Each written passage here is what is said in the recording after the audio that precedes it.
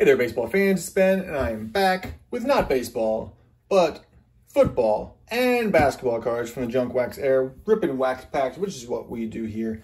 Uh, so these are just packs I had uh, laying around, and I thought, why not open them? And they don't have a whole lot, they don't make a whole lot of sense together as a theme, but we're doing it anyway. So we're going to start off with 1990 Pro Set, go on to 1991 Pro Set, then off into 1990 Fleer, into college basketball. I think these are 91 or 92, 91 Fleer basketball, and then the first year of Skybox, which I think is 91 as well. So those Skybox ones, you know, looking for some pretty good cards out of there. Starting off with some Pro Set, which to me is the, the junkies to the junk wax for uh, football.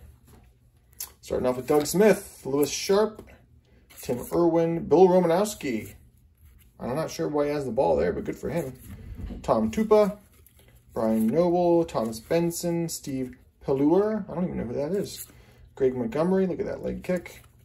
Izell Jenkins, Derek Hill, Willis Peguese. Um, I don't know who that is. Frederick Larson. And then the American Bowl in Tokyo. And Joe Namath, MVP Super Bowl throwback. So that Namath is the best card out of here, which is not saying much. On to 1991, which was, I think, even more mass-produced than 1990. I certainly had a lot of these in my collection growing up. 1991 Pro Set. I do like the design on these better, though. Just a slight tweak, but made them look nicer. So Paul Farren, John Alt, Lewis Billups, Derrick Thomas. So there's a good one. Linebacker for the Chiefs. There's Mark Collins.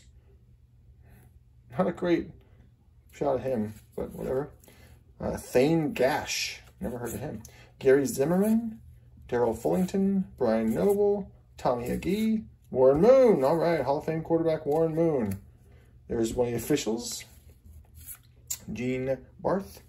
Uh, then you get the Rams halt the 49ers streak. Another official, Jim Tunney. Great. Ty Detmer, the Heisman Hero 1990. So I have to tell you here, when Ty Detmer was a senior in 1990, uh, they played in the Holiday Bowl. BYU played the Holiday Bowl against my favorite, the Iowa Hawkeyes. And I will never forget being a youngster watching that game and watching Iowa just barely lose to BYU and Ty Detmer. And there's Sean Knight from the World Football League to wrap us up here. So not too exciting there.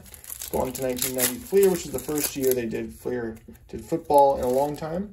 They have a long history of doing football cards, but uh, they came back mass-produced in 1990. There's Dave Craig, Mike Kofer, Dennis Gentry, Pat Swilling, so there's a good one, Tony Mandarich, Evan Cooper, Byron Evans, Anthony Carter, another good one there, Reggie Roby. He's a great punter, but nobody really cares too much about punters. He's from Iowa as well. Uh, let's see here. Yep, College, Iowa. Greg Townsend, Ray Allegre, Tim Johnson, Mike Wilcher, Leonard Smith, and Reggie Langhorn. So nothing too exciting to write home about there with the football cards. Let's jump to basketball. So with basketball, I'm looking for, in my PC, it would be B.J. Armstrong for the Chicago Bulls and any other former Iowa Hawkeye basketball players. And that's what's great about these wild cards here is that they are focused on the NCAA, kids coming out of uh, college. So David Butler for UNLV. There's Isiah Thomas. I guess that's uh, kind of a throwback to his, even though he's a well-established veteran at that point. Kevin Brooks from uh, the Raging Cajuns, Southwest Louisiana.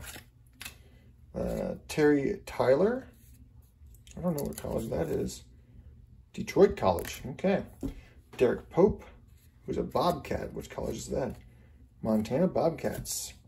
We have St. John's with Chris Mullin. Oh, look at that. Oh, but that's a throwback there for him, too. He was established at that point, too. Terry Dozier. Ian Lockhart. Then we got another Ian Lockhart. Great. Two Ian Lockharts back-to-back -back in the same pack. James Bullock. These jerseys just seem like they're not even official. I don't remember Purdue ever wearing those jerseys. There's Eric Murdock. Right, we got Russ Schoen, Tom Copa from Marquette, Linton Townes, and Ronald Coleman. What a weird, fairly worthless pack with a couple throwbacks with Chris Mullin and Isiah Thomas in there. Uh, moving on to 1991, Fleer Basketball. Looking for those Provision cards. That Jordan Provision would be a nice one to pull out of here. So let's see what we can get. I had a ton of these when I was a kid.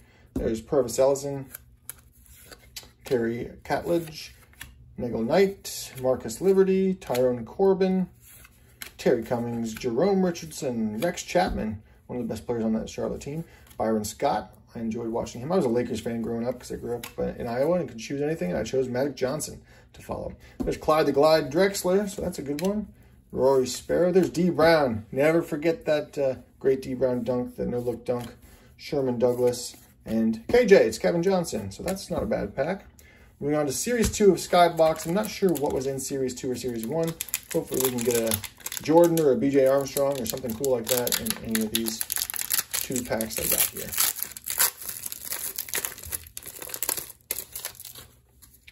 This was quite the futuristic design when it came out.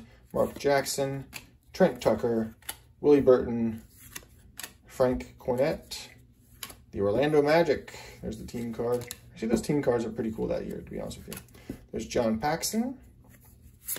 Kevin McHale, look at that. Matt Guokas. There's another KJ for us. Jeff Hornacek, not an Iowa player, but an Iowa State player. Don Nelson, coach of the Warriors. John Salley, the Detroit Pistons. There's another Isiah Thomas. T.R. Dunn and Sam Mitchell. All right, last pack. See if we can get some last pack magic here. Pull out something really exciting. Come on, we can do it. Sidney Moncrief, Rick Mahorn, Brad Davis, Bill Wennington, James Worthy. Hey, James Worthy for the Lakers. That was a good one. Doug West. George McCloud. Brian Quint. Cotton Fitzsimmons. Tom Garrick.